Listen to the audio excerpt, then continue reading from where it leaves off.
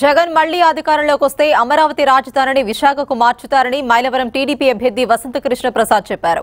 రెడ్డిగూడెం మండలంలో ఆయన పర్యటించారు. మండుతున్న ఎండను సైతం లెక్క చేయక తనదైన శైలిలో విస్తృతంగా ఎన్నికల ప్రచారం చేశారు. ఐదేళ్ళలో రైతుల కోసం ఐదు వందల కోట్లు కూడా ఖర్చు పెట్టకపోవడంతో చింతలపూడి ఎత్తిపోతుల పథకం పనులు అర్ధాంతరంగా ఆగిపోయాయని ఆరోపించారు.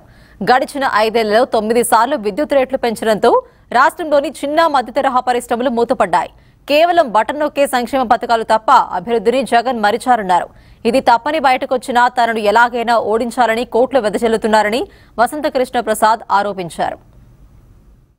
ఐదు శాతం కూడా చేయకుండా జగన్మోహన్ రెడ్డి గారు గాలికి వదిలేసి అట్లాగే మీరందరూ చూస్తూ ఉన్నారు మైలవరం నుంచి మనకి విశ్వనపేట దాకా వెళ్ళే ఈ రోడ్డు అభివృద్ధికి కేంద్ర ప్రభుత్వం ద్వారా నేను నిధులు శాంక్షన్ చేయించి తీసుకొచ్చినా కాంట్రాక్టర్లు ఇక్కడ చేసే పరిస్థితి లేదు.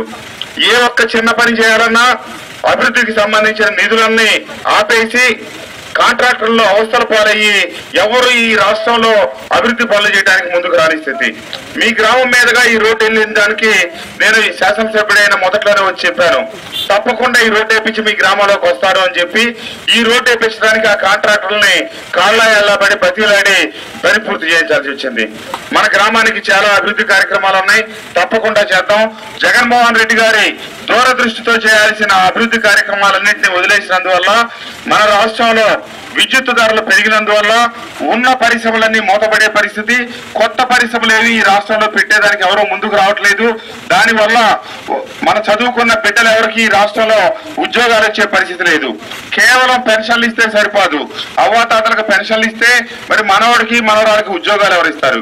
ఉద్యోగాలు లేకుండా ఎంతసేపటికి అమ్మఒడి వస్తుంది చేయూత వస్తుంది ఆసరా వస్తుందంటే ఆ కుటుంబాలు ఆ బిడ్డలు చదువుకున్న వాళ్ళకి భవిష్యత్తు లేనప్పుడు ఆ కుటుంబంలో బిడ్డలకు ఉద్యోగాలు రానప్పుడు ఆ కుటుంబం ఎలా స్థిరపడుతుందంటూ తప్పకుండా నేను బయటకు వచ్చింది మన చింతలపూడి రావడం కోసం.